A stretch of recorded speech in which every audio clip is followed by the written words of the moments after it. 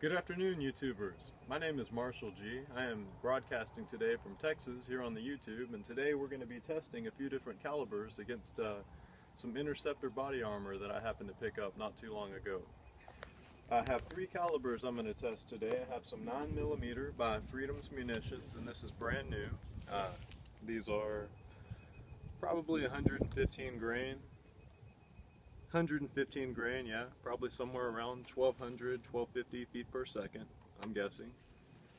Uh, and then I have some 380 by Tula, and you know 380 is a little bit more expensive than 9 millimeter right now, but I'm sure this is the standard stuff, and this is a 91 grain 380, probably somewhere around 1,000 feet per second. Uh, don't quote me on that, I'm not 100%. But then also I have some 762 by 25 Tokarev, and this is PPU. I think this stuff is Russian made, and this was the highest velocity I could find. Uh, online it said this was doing 1720 FPS, and I thought that was pretty remarkable. So today, if we look over here, uh, we see I have a piece of, of Kevlar here. Now, I'm going to do this test with a bag of corn. This is deer corn. So that's just to simulate, you know, something harder like human torso or something. Uh, now this is the body armor panel. This one is from 2005, so it's, it's not that old. Body armor, interceptor, ballistic panel, groin protector, size large.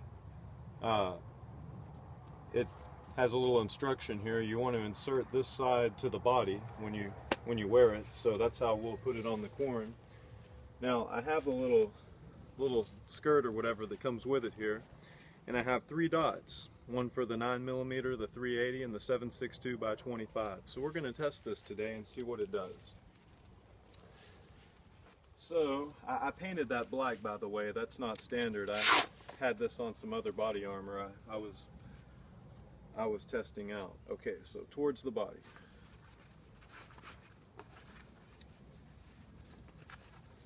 So today I will be shooting uh, I have a German Luger, a real Luger used in World War II that I'll be shooting with the 9mm.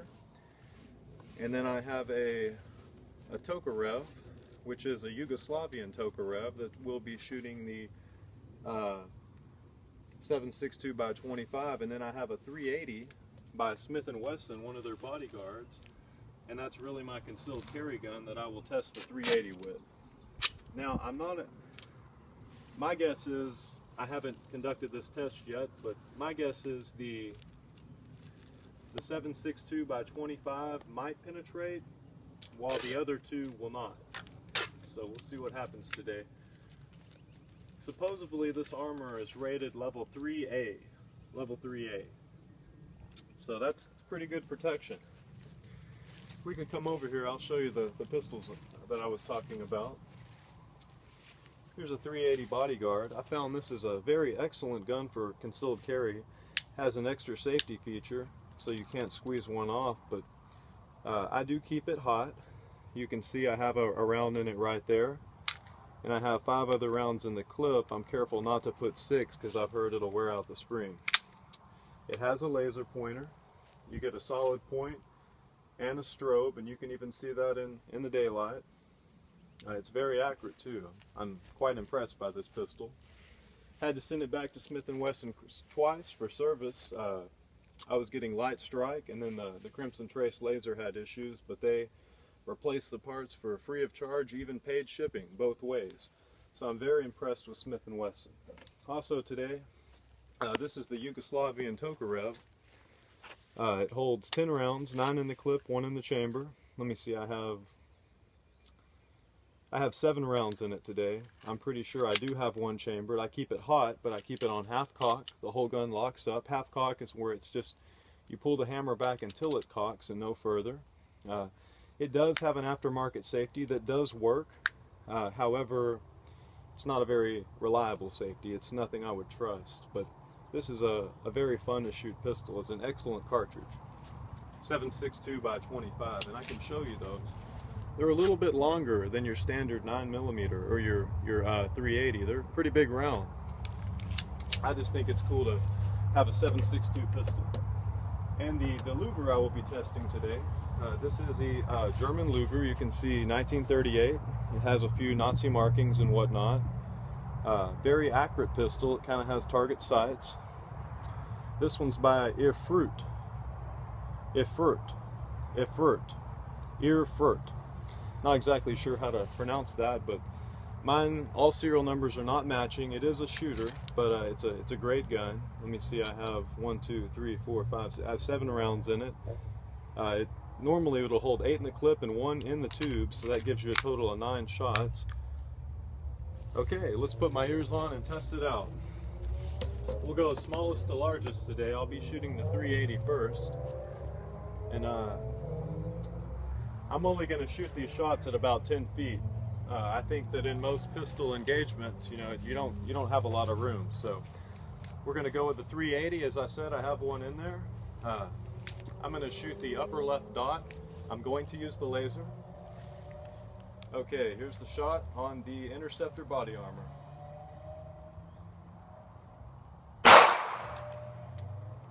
Let me do a second.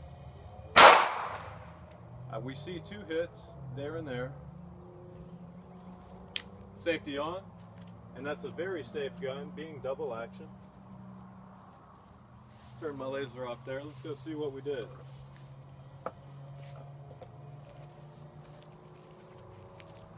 As you can see, I have two shots. However, neither one of them did penetrate. But you see there is some damage on the bag of corn, and that just shows you that these things are hitting rather hard. I'm going to do 9 millimeter. Next up, 9 millimeter.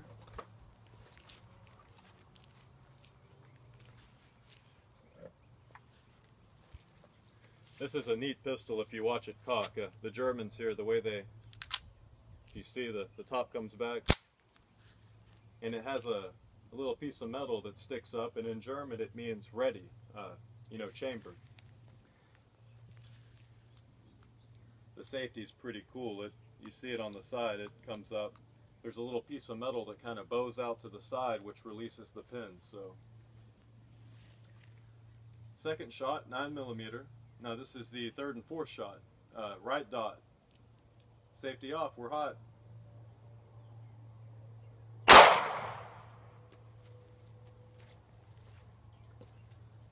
Well, I did hit it, and we see that it did stop it, but it sure did mess it up. And I'm just going to shoot it once with this pistol for that reason. I don't want to mess it up too much. But we do not have penetration. Uh, wow. Well, the, the Kevlar still seems to be intact. So I think it'll be okay to shoot with the 7.62. We're, we're still getting an accurate test. It doesn't feel too messed up, but we see it hit about where I wanted to, and it we have zero penetration. Now let's try the 7.62 by 25. Now this is a this little Tokarev here. This is a Yugo Tokarev, but the, originally the Russians made this a very narrow gun. Uh, and that's so, you know, in the icy weather, it wouldn't freeze up. But this is a, a good cartridge. It has a lot of penetration. Like I said, a big round. So let's see what we can get out of it. Okay. We're hot. Okay, three, two, one. All right, it hit right where I wanted it to.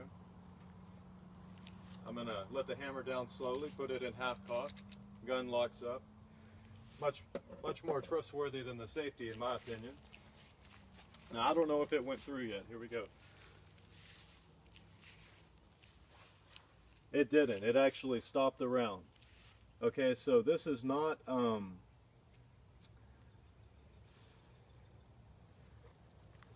this is not military surplus. Uh, this is, you know, standard lead core ammunition. I really wish I could conduct this test again with the, you know, some of that sub ammo or some of that hot stuff. Uh, you know, their sub guns or sub machine guns, they had a little bit hotter ammunition that they would load into it. I will shoot it a second time though. Let's see if we can get penetration.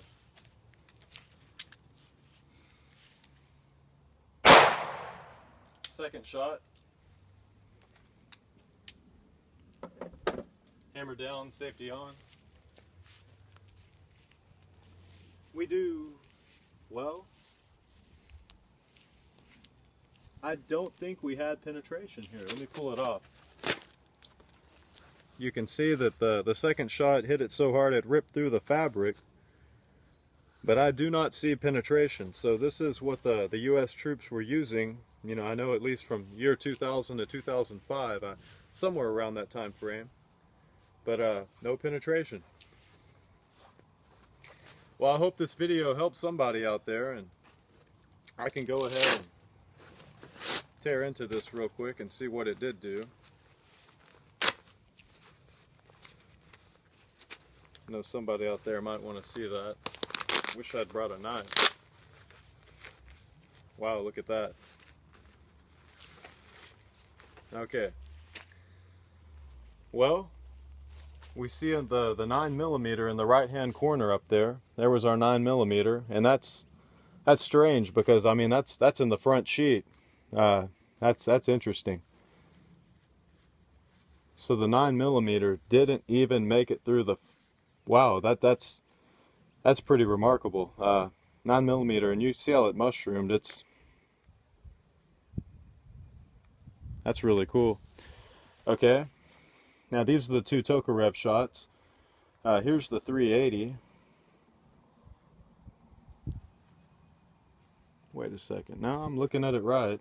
Let's see what the 380 did. Well, maybe they, they fell out on the ground there. Maybe they're in the bag. Let me check.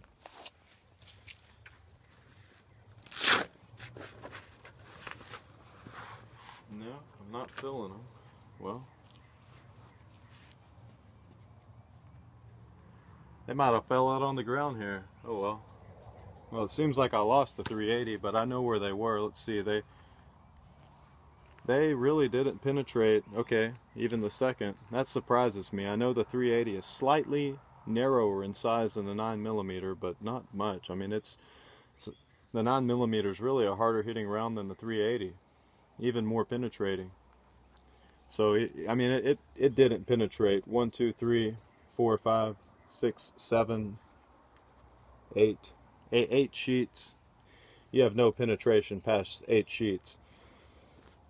Now back to the 9 millimeter. We have one sheet. It did penetrate one sheet, excuse me. Two, three, four, and then you can see it. It just got about four, and that you know that that might be that freedom munition stuff. That's good ammo. I I just you know it's probably standard for you know target.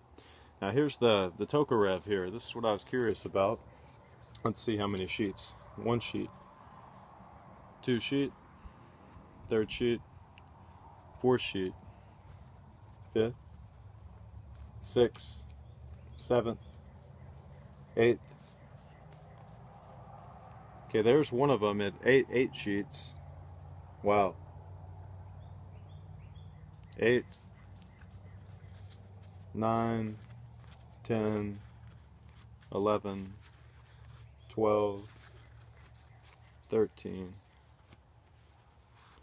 Wow, that second one almost made it through. 14, there it is. 14 sheets.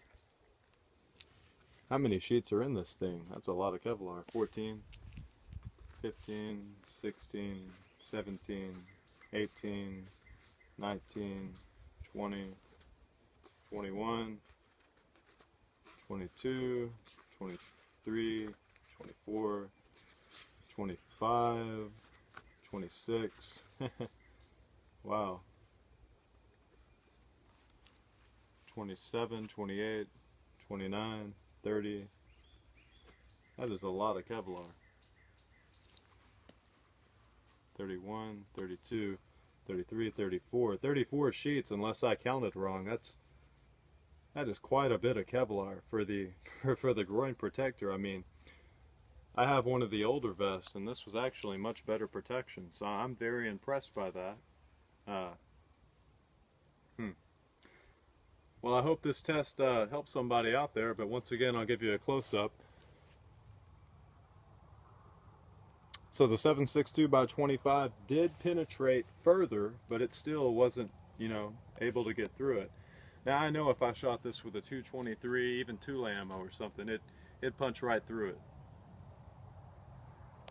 Well, thank you, and uh, for all for all you out there that are Christians, God bless. You know, I know with, with full certainty that Jesus is the Son of God, and He will come to render to every man according to his deeds. So that's just something I want to put out there. It's it's a decision we all have to make, and He says, "They that find their life will lose it, but they who lose it for my name's sake will find it." So, whatever you're doing, make sure you're doing it for the Lord, uh, according to the Word. God bless.